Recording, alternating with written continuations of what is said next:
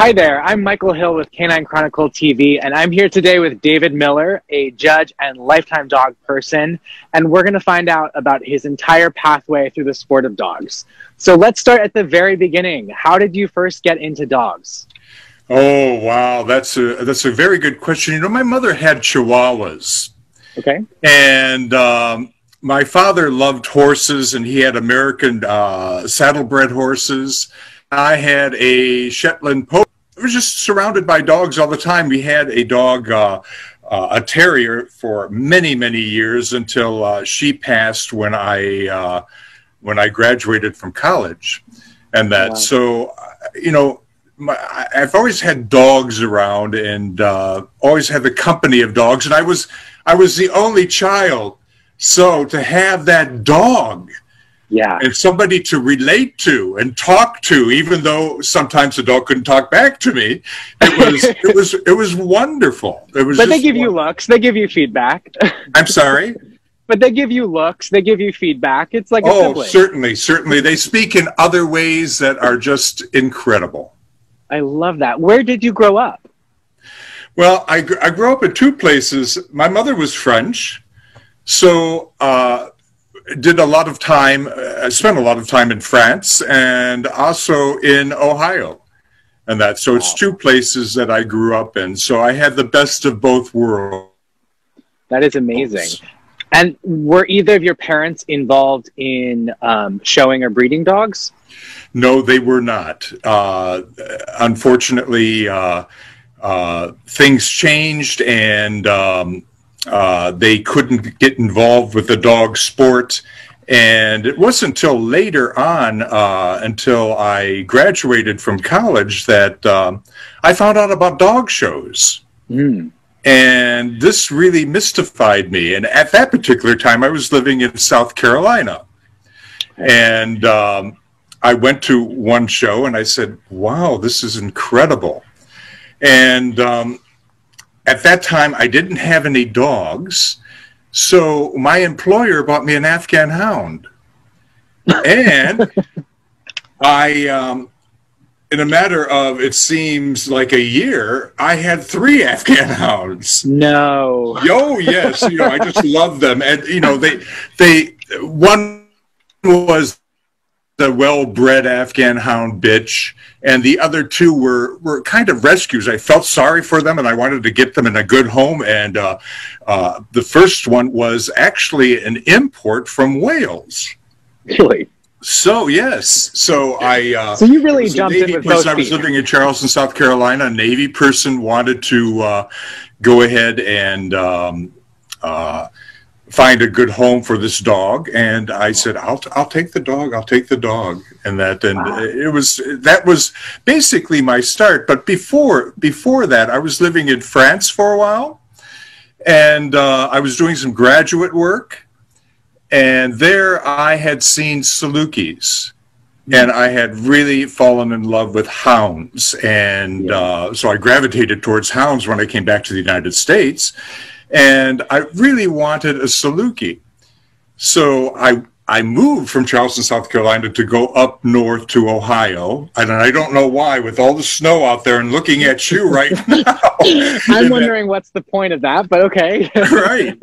And and um, I said, you know, I want to get a Saluki and that, and I was very lucky very, very lucky because one of the leading Saluki people of the United States lived about 30 miles away from me.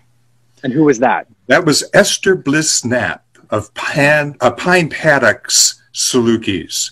So she lived at that time in Valley City, and I uh, went and sat in one of her paddocks and she brought dogs out to me and and uh, you know she had some imports and that and she wanted to place with me a, a kuwaiti bitch. Very very pretty but i couldn't show her. So I, I, you know i wanted to get active in the dog show ring and that. So yeah. um, much to her dislike i went through another kennel in california and that was Srinagar Kennel, and uh, that was uh, Winifred Lucas. and I got my first Saluki. Wow. A very diminutive male, party color, and I um, started showing him. And I finished him with two back-to-back majors on the East Coast, and I was hooked. I was hooked. You were you were done after that. I was. I was. So we, you know, we went back to um, California, okay. and um, we bought uh, a couple more dogs from Winifred and that, and we were very lucky to have one of the top 20 dogs uh, in the country, um, champion Srinagar uh, Rajendra. And um, I, um, I, I, just blended into the dog show scene. And you know, in that time, and this is in the 70s, at that time, the entries, not for Salukis so much as for Afghans, were huge because you, you had very big Afghan breeders here in the northeastern Ohio. You had Ray Abrams, and I'm bringing up names that you know go yeah. far far back. I love and, uh, yeah, it, it was just incredible. So you you would sit around the rings and just look at this multitude of dogs that would come in, and you were able to be able to sharpen your eye and and that. And then people would see me win with the salukis and i was a you know six foot six foot five. I was svelte. I could move around the ring with borzois and afghans and, and salukis. So people asked, started asking me to show their dogs Right. And uh, I was able to uh, finish uh, several Borzois. I handled Scottish Deerhounds. I handled Salukis for other people, and it just it just took off. It, it, it, was incredible. Were you doing breeding as well? Yes, yes, we did breed as well, and uh, we we sent a lot of dogs to Europe. Mm. We sent a lot of dogs to South America. Uh, one in particular, uh, well, half my family is French, so I have family in France. And, and let me go into this story. This is very yeah, yeah, interesting too. I um, I went ahead and sent a Saluki male to my family in Strasbourg, France. Okay. And there are people that rode their bicycles and jogged in the area of where they lived and they stopped and saw the Saluki because they knew about Salukis, but they were astonished about the temperament of this dog because this dog came right up to them. And you know, Salukis can be a little bit aloof. Sure. So um, they said, where, where did you get this dog? And uh, they t- they told them, and Josette Lucier, who's the person who who uh, uh, saw this dog, called me and said, "We want one of your Salukis." So I sent wow. her. Oh, actually, I accompanied the dog to France uh, for her, and um, and she took the dog, and the dog was like her daughter. She had a son and the son felt like he was being left out because the dog got more attention than than he did at times. So uh, she went ahead and got reserve best in show at the uh, Saluki specialty in France, and she oh became uh, a European coursing champion and won a very very big coveted coursing meet in uh, in um, in Switzerland. That's amazing. And um, so you know she she lived out her life with them and then she passed and then uh, josette and her husband didier uh, moved to morocco. And they missed saluki so much. They said david we want another saluki. We want another saluki. Well at that particular juncture in my breeding program i was interbreeding with a french kennel called Arab Berharis by Jean-Louis Grunheit. And um, I was at that time producing smooths. And I had this beautiful smooth bitch, cream colored, lovely. But, you know, she wasn't fitting the bill exactly as temperament wise as her other dog. But I said, you know, I have her. She'd be a wonderful home. So I, I flew with her to Paris and I took her to the uh, uh, let me see, the Gare de Lyon in, in, in Paris. Oh. And uh, Josette and Didier met me there, and then they, they took the dog away, and she just looked at me when when they were leaving to get on the train, and then I was heartbroken. But oh. I was oh. hoping that this would just work out well. Yeah. Well, unfortunately, it didn't because they weren't used to that type of real type of Saluki temperament. So yeah. they called me up and said, David, it's just not working. And I said, well, you know, I've always made a commitment as a breeder that if it doesn't work out, I take the dogs back because I was not a pro- prolific breeder. Sure. Because I wanted to make sure that the dogs were okay. And if I produce all these litters, I would never have been able to do that. And and you probably know that Salukis are not the easiest dogs to place in homes. That was my next question. I was going to say, what was the market like for Salukis? Not very good. not very good at all. So uh, I I ended up flying back to Paris.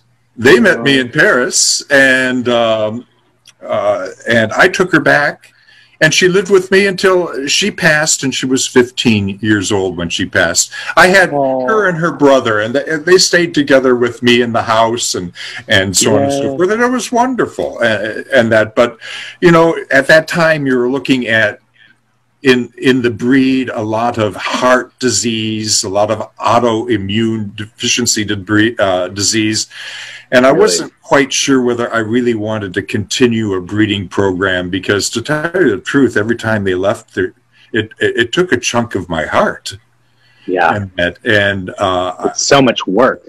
Yeah, yeah, definitely. So, uh, you know, and then it was really nice because I went back several times to Morocco with uh, to visit uh, Josette and Didier, and I got to know the uh, in Morocco very, very well. And later on, I ended up taking American um, tourists to Morocco because I had a friend in Paris who bought wow. a riad in the Medina in mm-hmm. Marrakesh.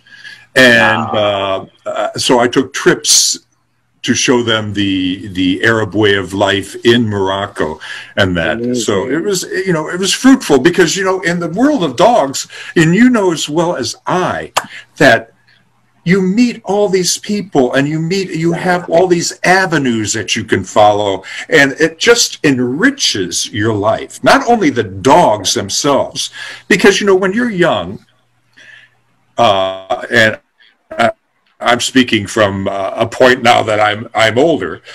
But yeah. when you're young, you need a guiding force and you need something to take care of.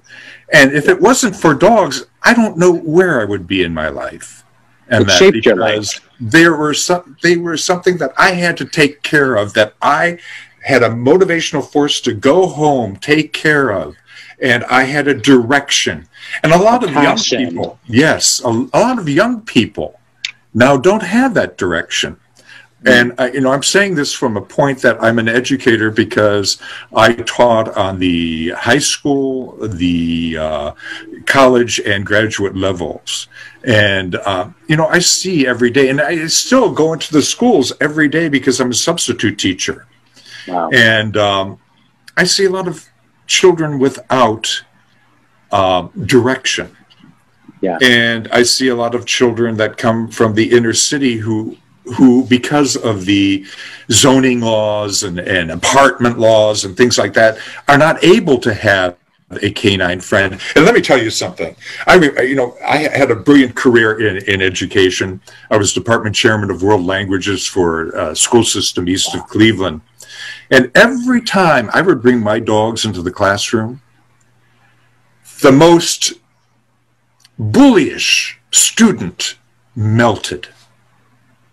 Animals have that way of bringing out the sincerity, the empathy, and that it's a wonder to look at. It's a wonder to experience. So great to mention. That. I'm and sorry think, if I'm talking so much here. No, no, no, no. I want you to just keep going because I think that's like something that's so key is that like your life in dogs is not about a ribbon or an accomplishment or a record. It's about these moments and these connections with these people in you're, different places that you never would have had if it wasn't for those dogs. You're absolutely right. And you know, the love, once you lose that love of dogs mm. and, and only look at records, then you've lost something in the transla- translation. No, it's okay to make records and things like that. You know, it's wonderful to do that. Sure. And I applaud the people who are able to do that. But sure. you need to go back to the basis the foundation. why we are in dogs. And it's for dogs, it's them, themselves, because a lot of people lose their way in this, in this whole sport.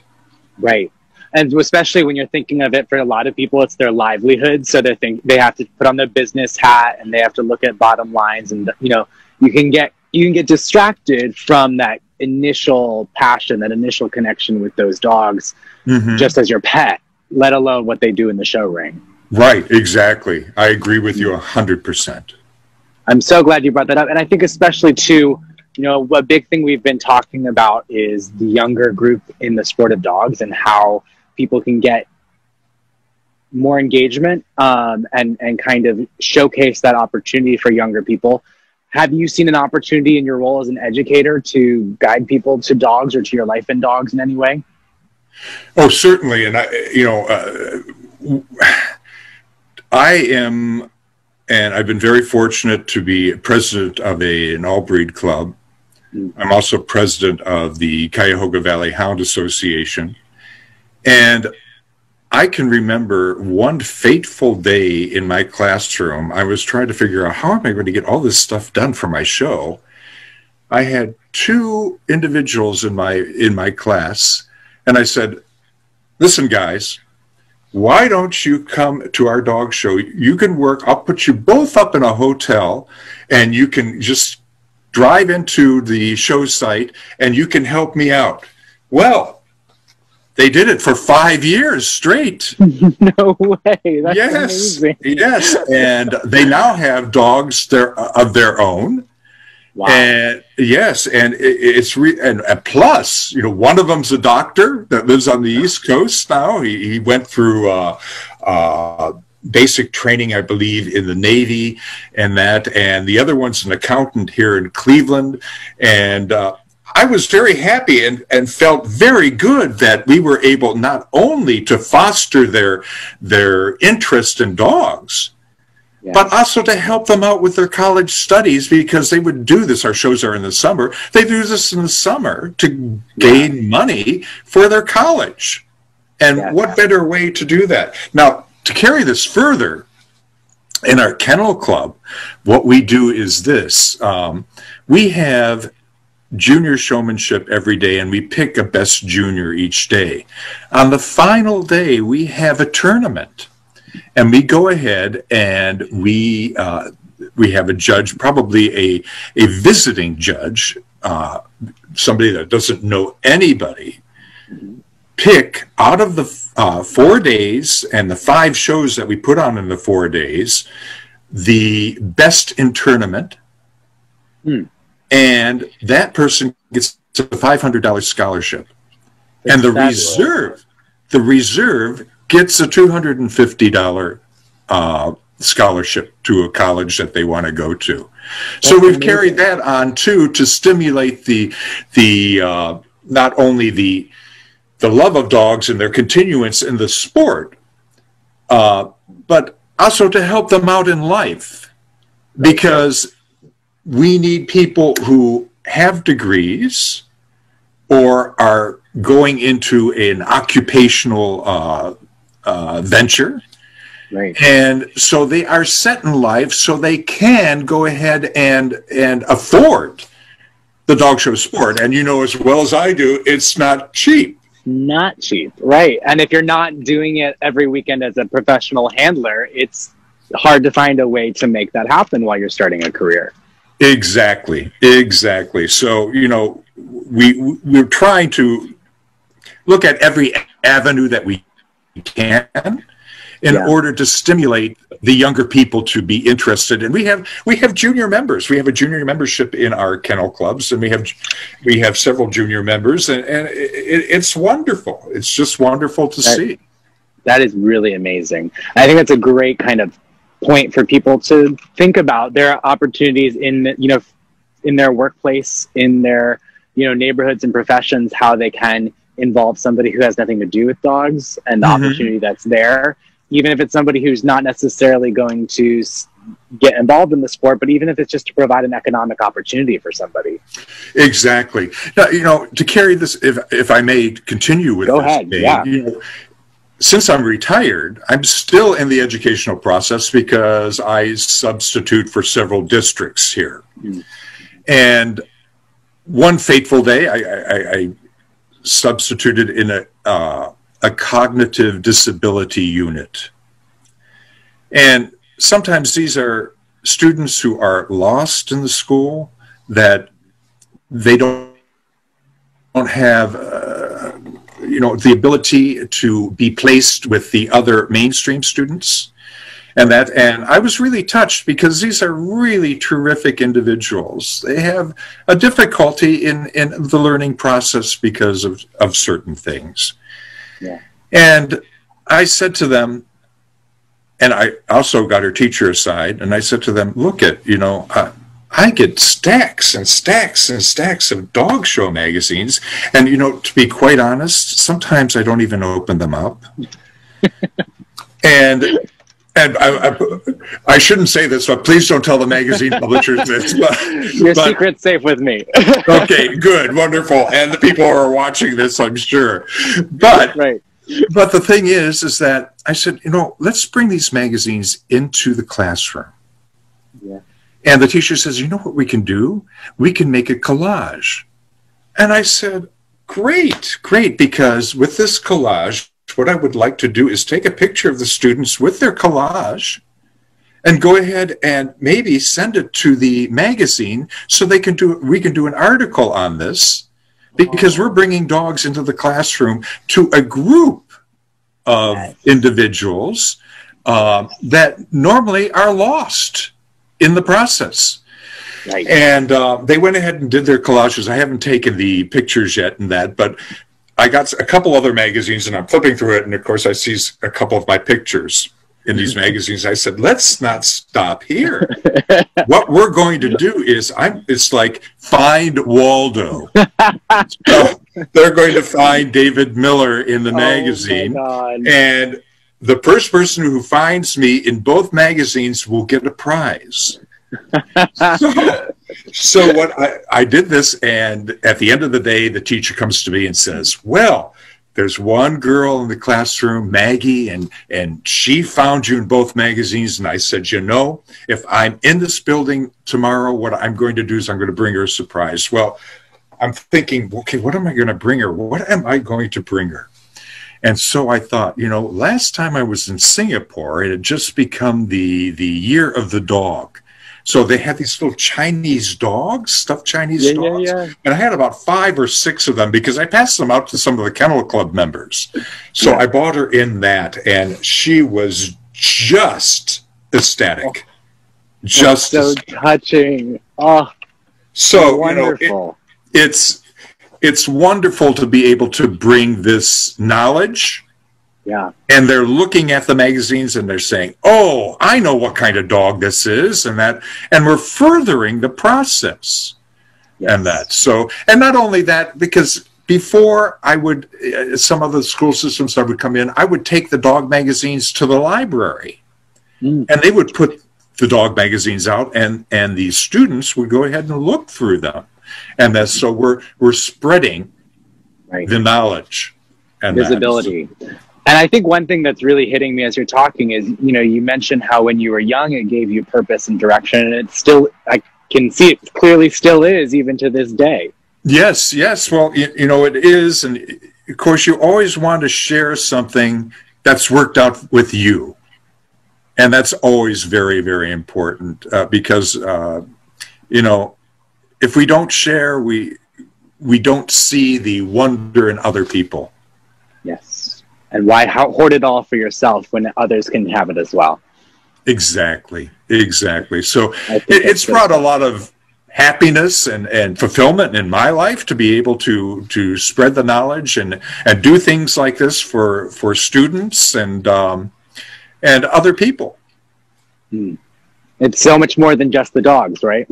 So much more. So much more because you're touching lives. Yes. Yes. Let's let's wrap up with what would be some of your most poignant mem- memories in the sport. It could be judging, could be showing, could be an interaction, a relationship. What comes Oh, to mind? Wow.